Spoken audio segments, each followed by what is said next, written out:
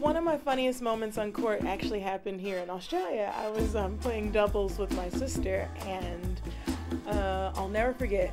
Um, this guy comes on the court and he decides to come out booty butt naked. So he's like running and he's shaking in front of us. And um, incidentally, he it was like 50 degrees that day, and he didn't have any shoes, so he was shaking extra fast. And it was just it was kind of weird. We kind of laughed. Venus was appalled, and I think I was peeking, but who knows.